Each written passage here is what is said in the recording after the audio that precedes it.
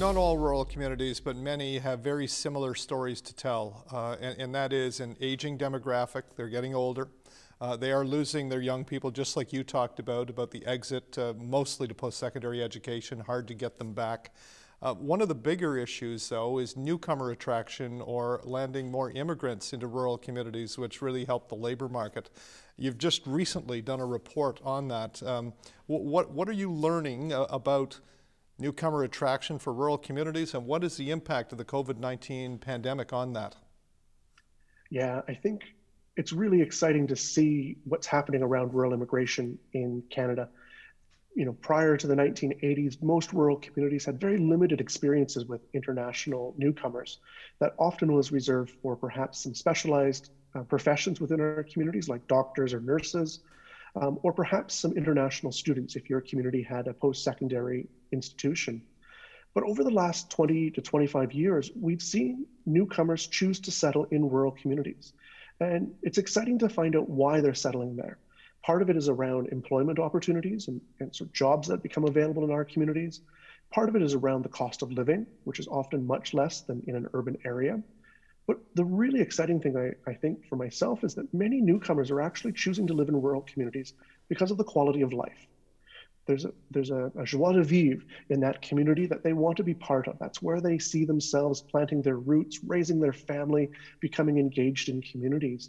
And so for the last 20 years, we're starting to see many rural places create strategies to try to both attract newcomers to their community but also to think about once those newcomers do arrive, how do we integrate and settle those newcomers so that they choose to stay in that community on the long term and they contribute to the vibrancy of that rural place.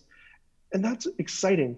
What's challenging now is COVID 19 because many of our rural communities um, have struggled to continue to provide the same provisions to newcomers because we can't meet in person. We can't uh, take people to, to facilities, to the library to get a, a library card.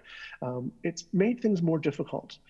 The other dilemma that are often being encountered is around English as an additional language services.